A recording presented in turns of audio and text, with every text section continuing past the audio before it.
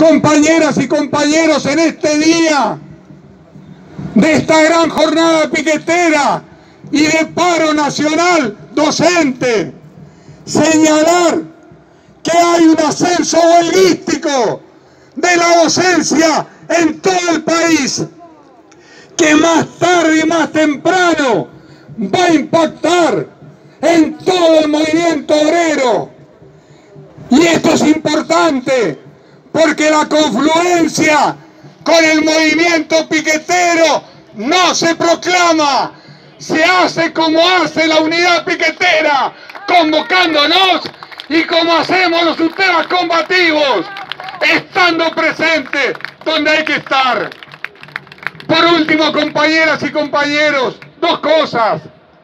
La primera, traigo el saludo de la compañera Romina del Pla,